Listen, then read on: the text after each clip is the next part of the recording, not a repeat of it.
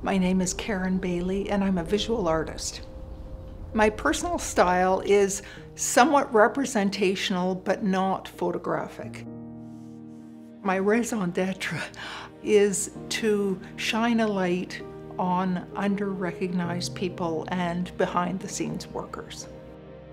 We're so used to seeing portraits of famous people or very wealthy people, but it's very rare to see a painting of oneself. I've always wanted to do something with an organization who uh, is helping the homeless. The Ottawa Mission decided to get involved in this portraits project because we wanted to highlight some of the people who are making a difference each and every day in our community. The Ottawa Mission is an absolutely remarkable place. I had no idea that there was such a broad range of services available. And that's what really impresses me most of all is it's not just about feeding someone or giving them a bed for the night. They're looking after dental care and they're helping out with housing. They're helping with addiction problems. So many different services that they offer.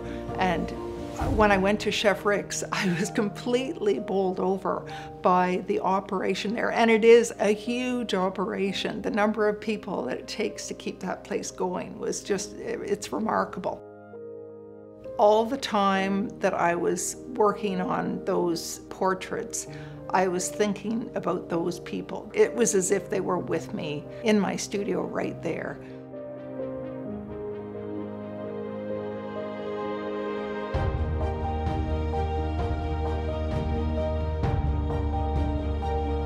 I always get such a great benefit out of serving meals here at the Mission.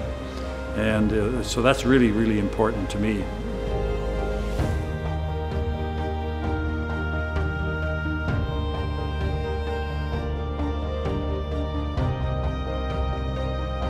being brought into this project, it really made us feel like we were really involved and our work was really appreciated and understood.